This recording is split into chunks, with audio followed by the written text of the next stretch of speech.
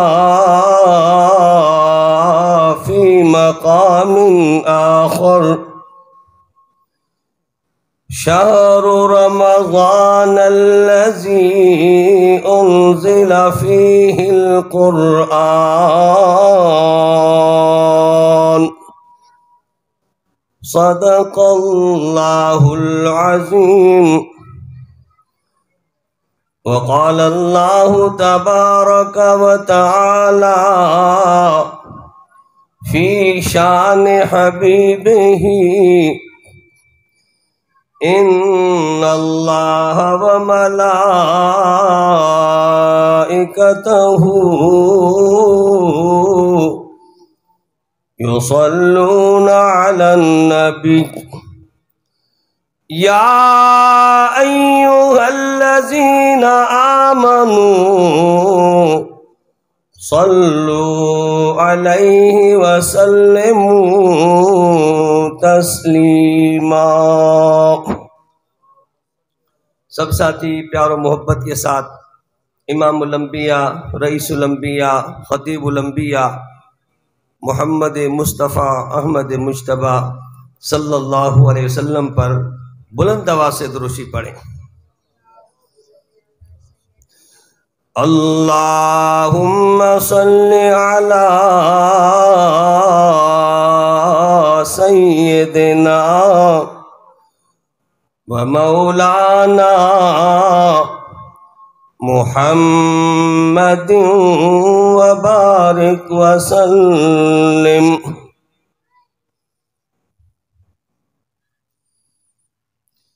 सच्चे हैं सब यारान नबी।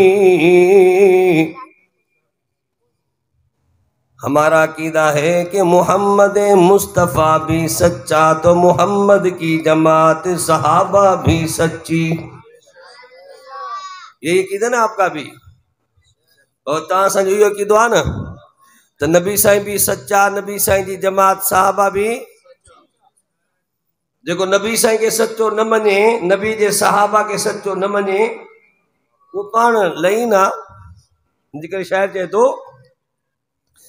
सच्चे हैं सब यारान नबी। अबू बकर, उमर, उस्मान, अली।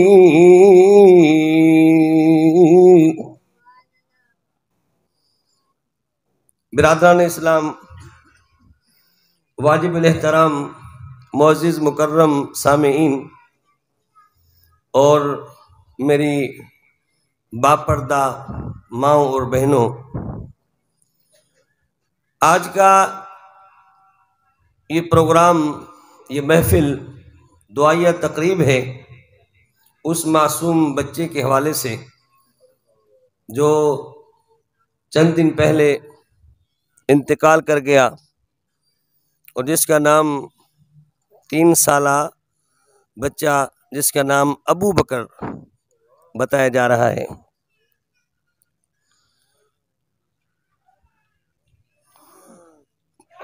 आपके और हमारे लिए तो ये कोई आम सी बात होगी, लेकिन जिस माँ की गोद से इस बच्चे ने जन्म लिया।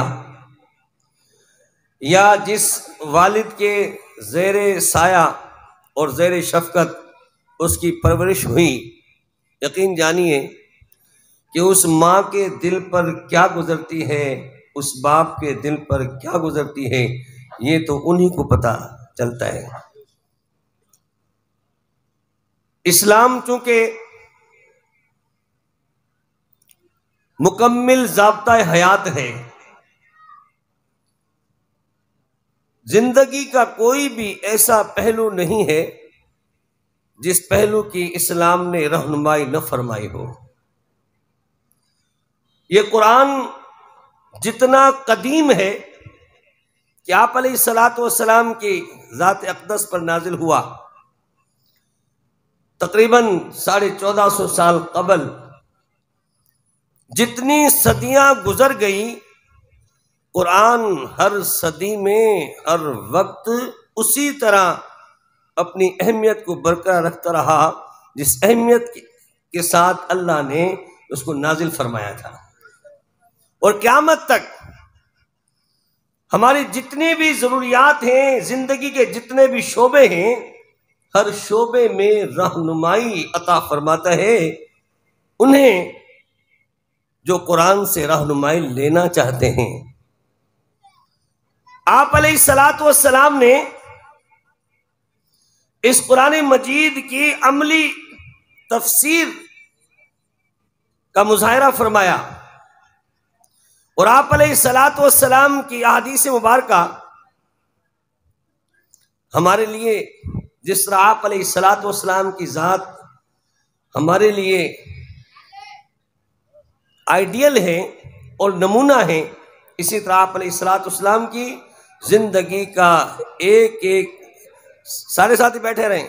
हज़रत यहाँ तशीफ लाएँगे इनशाला तो मैं अर्ज़ कर रहा था मेरे दोस्तों कि कुरान हमें रहनुमाई दे रहा है कि बच्चा फोत हो गया, किसी की माँ फोत हो गई, किसी का भाई फोत हो गया, किसी की बीवी फोत हो गई, किसी का दोस्त फोत हो गया तो मैं कि हाँ फोत होना है। जो पैदा हुआ है, उसे मरना ज़रूर है। आज हम भूले हुए हैं। हम भूले हुए हैं, मौत को भुलाए हुए हैं, लेकिन कभी कब्रिस्तान जाया करो। वहाँ तुम्हें एक माह के बच्चे की कब्र भी मिलेगी। एक दिन के बच्चे की कब्र भी मिलेगी तो 20 साल के नौजवान की कब्र भी मिलेगी। बूढ़ों की कब्रें भी मिलेंगी, औरतों की कब्रें भी मिलेंगी, गरीबों की कब्रें भी मिलेंगी, अमीरों की कब्रें भी मिलेंगी। लेकिन हम तो कब्रस्तान में जाकर भी इबरत हासिल नहीं करते, वहाँ भी मज़ाक करते हैं। मेरे दोस्त, अल्लाह ने कानून दिया है।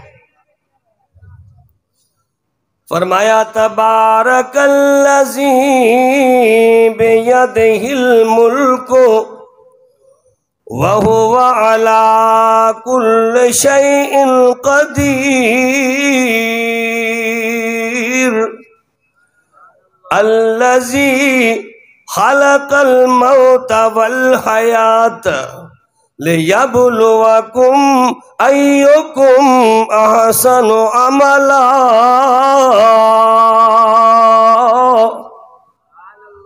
ये कुरान हमें याद करा रहा है और अपनी जवानी की मस्ती में रहने वालों, पैसे की धुन में मस्त रहने वालों, अपनी ओहदे की मस्ती में मस्त रहने वालों, ताकत की मस्ती में मस्त रहने वालों, तुम तो मौत को भूल गए हो, लेकिन मौत तुम्हें नहीं भूलती।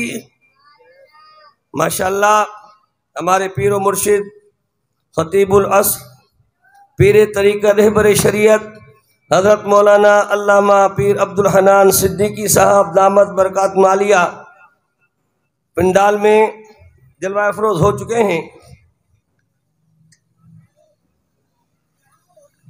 साथी इतमान से बैठे रहें।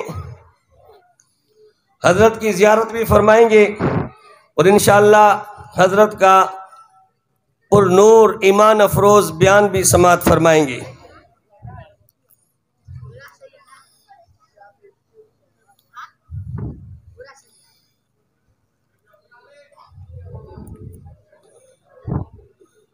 सारे साथी बैठ जाए जी।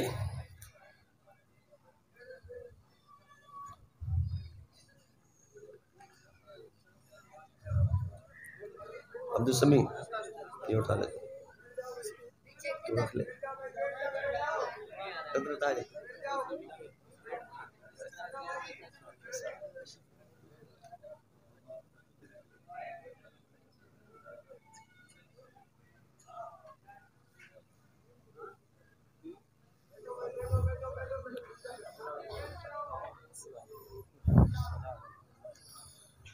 तस्वीर रखे मेरे दोस्तों।